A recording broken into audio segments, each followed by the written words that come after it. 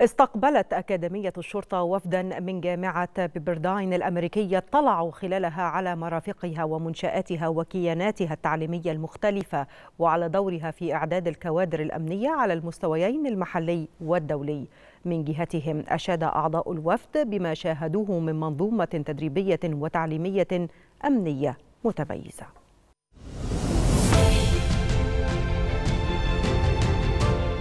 في إطار حرص المؤسسات العلمية والأكاديميات الدولية على التعاون مع أكاديمية الشرطة للاطلاع على دورها الرائد في إعداد الكوادر الأمنية.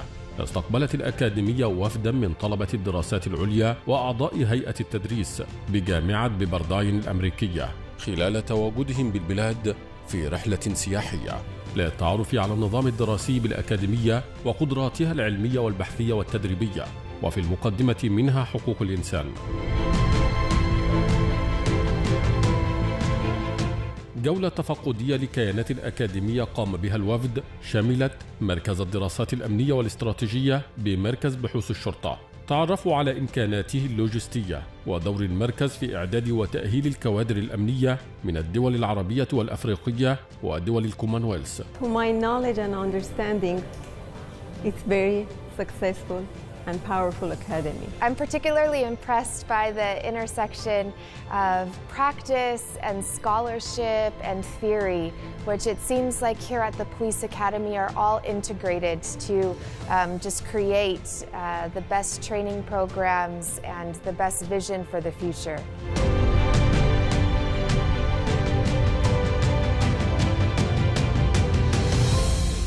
وتوجه الوفد إلى مقر كلية الدراسات العليا للتعرف على كيفية إعداد الكوادر العلمية وقد شاهدوا عرضا يتضمن جهود الكلية في مجال تعزيز حقوق الإنسان بين أوساط الضباط الراغبين في استكمال دراستهم العليا.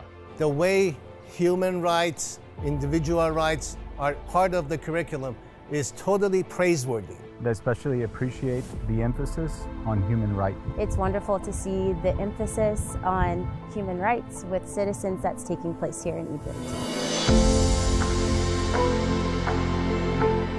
انتقلت الزيارة عقب ذلك إلى المركز الدولي للتدريب على عمليات حفظ السلام والذي يطلع بإعداد الكوادر الأمنية الوطنية والأجنبية للمشاركة في بعثات حفظ السلام الأممية. I am grateful to learn about the Police Academy's efforts in international cooperation, from their humanitarian efforts to their partnerships with the various African nations as well as the Commonwealth nation. The Police Academy here in Egypt is absolutely exemplary about what can be done in a country with law enforcement. الزيارة شملت كلية الشرطة تعرف خلالها الوفد على دورها في إعداد خريج شرطة عصري مسلح بالعلم والمعرفة في إطار من الالتزام بالقيم الإنسانية والأخلاقية واحترام القانون وحقوق الإنسان. It's been really impressive to see the organization and what the whole police uh, program is doing here. I would like to uh, thank the amazing hospitality and graciousness by the Egyptians in this country. واستكمل الوفد زيارته للأكاديمية بمشاهدة بعض التدريبات الخاصة بطلبة كلية الشرطة والبرامج التدريبية المتنوعة داخل الميادين التدريبية المتطورة بالأكاديمية والتي تحاكي البيئات الطبيعية عند تنفيذ المهام.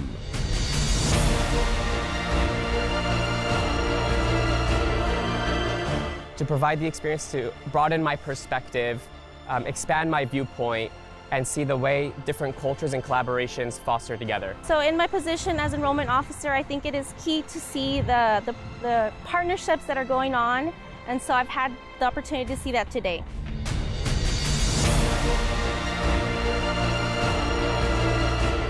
شملت الجولة مشاهدة لعروض الخيالة والإدارة العامة لتدريب كلاب الأمن والحراسة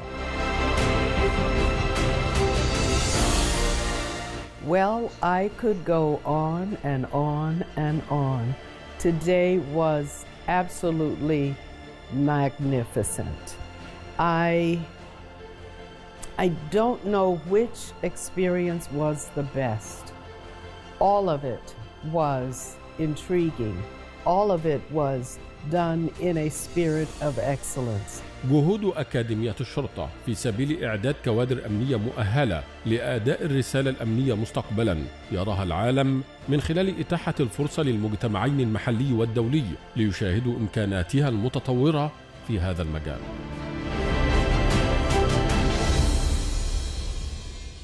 هكذا تحرص أكاديمية الشرطة على استقبال الوفود المحلية والأجنبية للاطلاع على مرافقها ومنشآتها المتطورة والمستخدمة في إعداد الكوادر الأمنية على المستويين المحلي والدولي.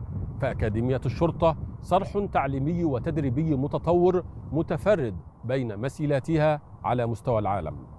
عبد الله بركات التلفزيون المصري.